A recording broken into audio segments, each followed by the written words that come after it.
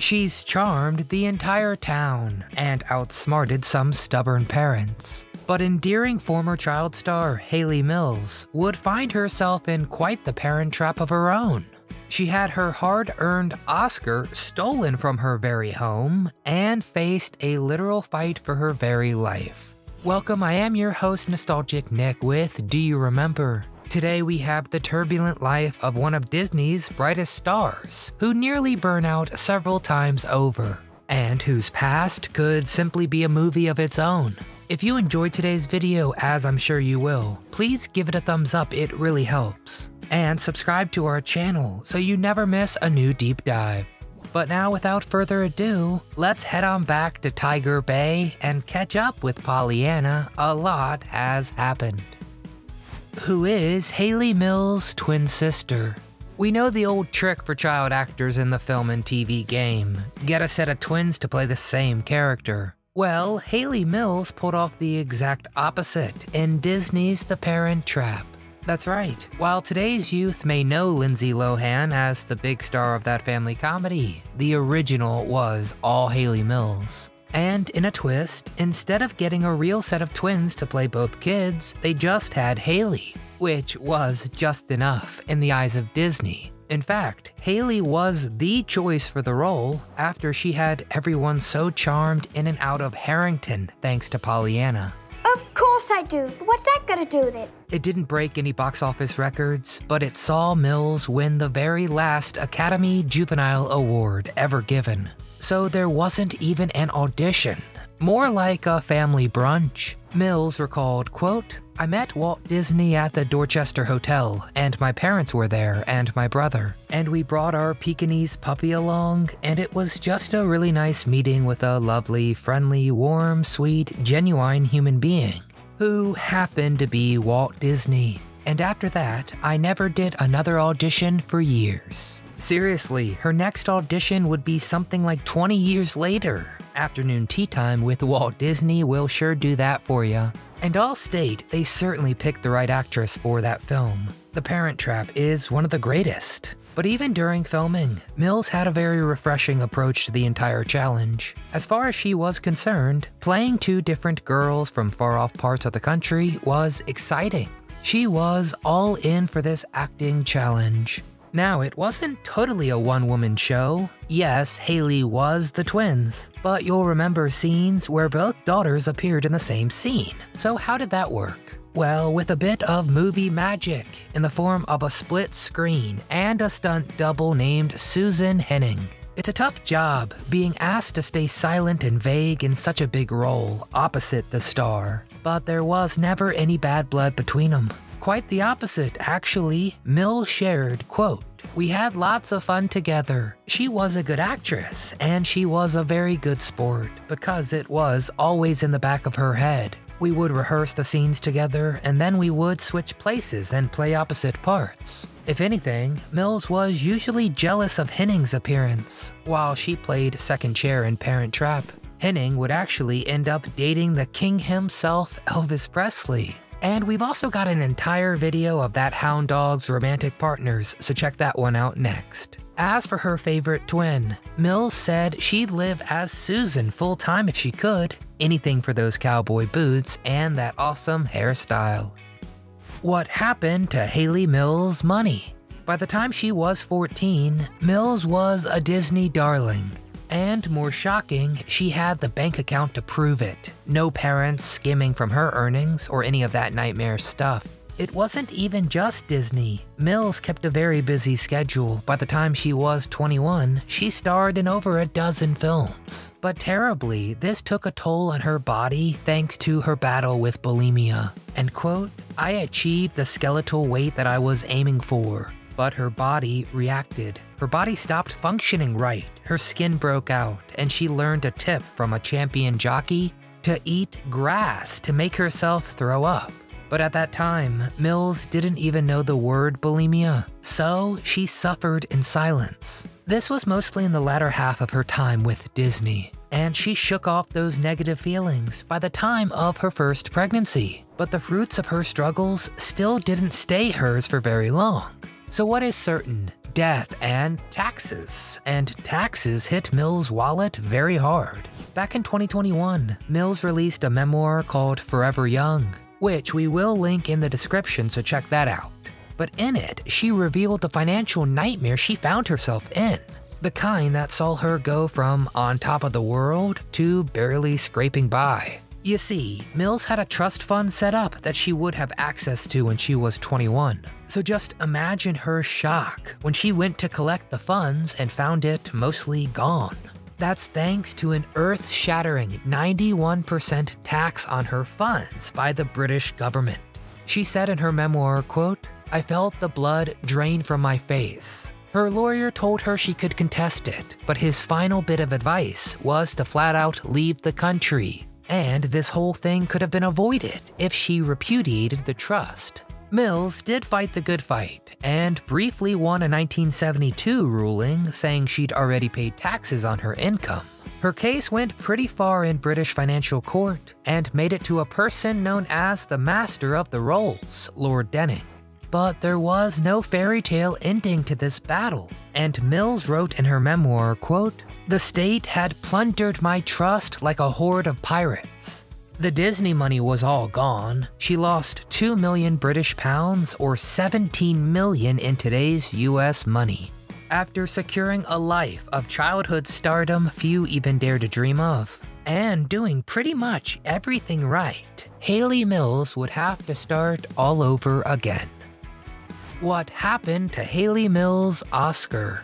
The Academy Juvenile Award, or just the Juvenile Oscar, was a rare and special honor the Academy gave its youngest stars beginning in 1934. The statuette wasn't given out annually, just for special, noteworthy cases. Hayley Mills won hers in 1961, thanks to her performance in Pollyanna, and she'd be the very last one to get such a rare distinction. The very first was none other than Shirley Temple. Some other winners include Judy Garland and Mickey Rooney. But in a cruel twist, Mills would not be able to personally receive this incredible award. At the time of the ceremony, she was at boarding school all the way back in England, and her parents wanted her life as normal as possible, and so they kept her from going which I guess I have to give credit to the dedication, but it meant she couldn't attend this final opportunity, which is a shame because the award was presented by Shirley Temple herself. Instead, Mouseketeer Annette Funicello accepted that award on her behalf. Thankfully, Mills did get her totally unique, miniature sized statuette and brought it back with her to her UK home. But even this victory was too short lived. I didn't know what to say. I know. Work took her from the UK back stateside to film Disney's show Good Morning Miss Bliss. And when she got back home, she found the statue gone, missing, totally off the map. Mills recalled, quote, Of course I turned the house upside down and I asked everybody I could think of, and I did everything I could. All she could hope for was that it turned up one day, because after the Academy awarded her that Oscar, they literally broke the mold. No others could ever be made again. Mills was all too aware of what she'd lost and said, quote, From 1962 on, the next child to get an Oscar got a big, full-sized one. When I lost mine, I was desperate. When she decided to settle and asked for a big statue, she was told, quote, It doesn't work like that. Thankfully, some justice came through in the end, and in 2022, the Academy finally saw reason and gave Mills a replacement for the juvenile Oscar she had stolen from her home. It was personally presented to her by the president of the Academy of Motion Pictures and Arts and Sciences, and the photos really are the sweetest thing ever. Mills was a good sport and didn't resent her parents for keeping her from that big ceremony. She reasoned, quote, I think my parents thought it was important that the things were kept in proportion, adding, quote, I totally understand why they decided this is just too much of a good thing. I was only 14 and they really didn't want me to get too full of myself. Mills won this battle, but she'd find herself wishing she focused way less on her career. Who is Hayley Mills' partner now? Mills' rise to international fame was always a bit unique among child stars. She realized Disney watched after her career like she was, quote, a cherished daughter. It wasn't all charity, she was the moneymaker at that time, so there was a bit of protecting the investment to it. But sometimes work took a bit of precedent over cultivating a solid personal life. So, Mills has had a few partners over the decades. Let's see first was Roy Bolting, one half of a filmmaking duo known as the Bolting Brothers, who made satires in the 50s and 60s. Oh, yeah, and they were twin brothers. Hmm, that sounds familiar and fun. What gets a bit less fun is the years between them. When the two met at the time of filming The Family Way, Mills was 20 and Roy was 53. They got married five years later and had a child. As far as Mills was concerned, age was just a number. When talking about the three decades between them, she said, quote, I learned that even though there was a great disparity in our ages, we understood each other on a personal, spiritual level. Further explaining her attraction, she added, quote, I always felt that he was emotionally vulnerable. That's one of the reasons I fell in love with him. Part of it also stemmed from her background as a child star. Mills once admitted, quote, I would have liked to take on things that had more of a dramatic element. I did feel that I needed new experiences. Around the time she met Rory, she also craved more independence, and in her mind, the ideal romantic partner for that was an older fella. But at the end of the day, even years after they split up, she insists, quote, I fell in love with a remarkable man. That was it. And the two did stay friends even after the split. So hey, maybe age is just a number. Next up would be Lee Lawson, an actor, director, and writer, which lasted from 1975 until 84. They met at London's West End in A Touch of Spring. They too had a child, and while they were together, Lee took up the job of stepdad to Mills' first son. Finally, Mills found the one in 1997 when she got with Indian actor and writer Firdous Bamji. This time it was her turn to flip the age difference, as she was 20 years his senior. The pieces just fell into place, as they were meant to. But Hayley's life is not without regrets. And if she'd do it all again, she'd give her family life way, way more attention. What happened to Kula Shaker? While Hayley Mills was one of the definitive child stars of the era, she herself had two kids. The first was Crispin Mills, and the second was Jason Lawson. Hayley's parents navigated a very dangerous minefield of making sure their daughter had a good head on her shoulders through all her fame. But it's a path not everyone succeeds at, even with the best efforts and intentions. Mills thinks she fumbled a bit too. In a 2022 interview, Mills did not mince her words, saying, quote, if there's ever any doubt about taking a job or spending time with your children, do the latter. Getting candid, she added, looking back now, I didn't. I spent too much time away. They've survived, and they're both wonderful men who I'm incredibly proud of, but they didn't have an easy time. But that also meant when coming into their own, they had some breathing room to figure out who they were, besides sons of a Disney star. They both ended up in the industry, with Jason being a filmmaker and Crispin quite the rock star.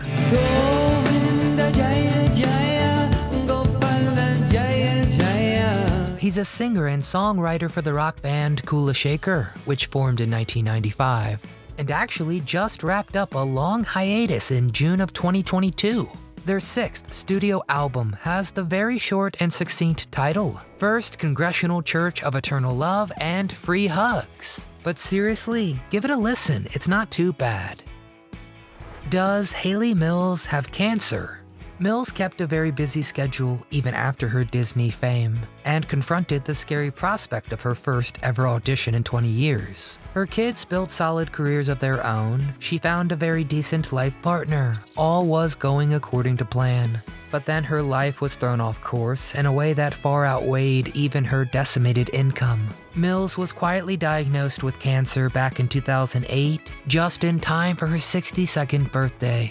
Mills remembered, quote, it was my birthday when I received the news I had breast cancer. What a birthday present. They found cancer in both breasts, and I had surgery very quickly. But that wasn't the end of her woes. As part of her treatment, Mills was to undergo chemotherapy. For Mills, what she went through was nothing compared to what followed. She recalled of that hellish experience, quote, I could feel it draining me and killing me. I felt I was dying. In fact, she also said, it made me feel awful. I was more frightened of the chemo than the cancer. And she went through this nightmare almost totally alone, only her close family knew. She explained, quote, For me it helped to keep the news to myself. That's the sort of person I am. I know people who needed to tell all their friends, but for me, it was a private thing. And it helped me to get on with life as normally as possible. Kinda like how her parents tried to keep her life as normal as possible, too. Mills kept her darkest hour quiet for just a bit of normalcy. Then she made another huge choice. She opted out of chemotherapy because of how bad it made her feel. She explained, quote, I want to be able to take charge and be involved in this battle. It was about the quality of my life. So she just used alternative treatments, and by 2012, she proudly announced she was fully cured. And in true Hayley Mills fashion, she's still keeping herself busy. In fact, at 77, she's still working on the big screen, and the small screen, and the stage. In 2015, she acted alongside her sister Juliet, not a twin, in the play Legends, all about two washed up aging film stars. Oh man, I wish I could have seen that. And then just this year, she has a film credit in Arthur's Whiskey. And on Amazon, she's in the Great Wheel of Time and adaptation of the larger than life fantasy books. Of course, sprinkling her Disney magic into the weave. Hayley Mills, she put a spell on us and everyone across the pond, even when the charming outside was masking a terrible, lonely struggle on the inside. One that would pop up again on her years later, to the point that fighting for her life felt like a losing battle. But still, Hayley Mills is a star that's shining bright. And her story is one of both struggle and inspiration. So, which was your favorite Disney film of hers? Did you watch The Parent Trap all the time growing up? What's another great role of hers you've enjoyed? Have you caught any of her newer performances? Get in the comments and tell us all things Hayley Mills, and also tell us who we should cover next. If you enjoyed this deep dive, please give the video a thumbs up, it really helps. Make sure you're subscribed to the channel so you never miss a memory. But most importantly, from all of us here at Do You Remember, thanks for watching, and let's get together again soon.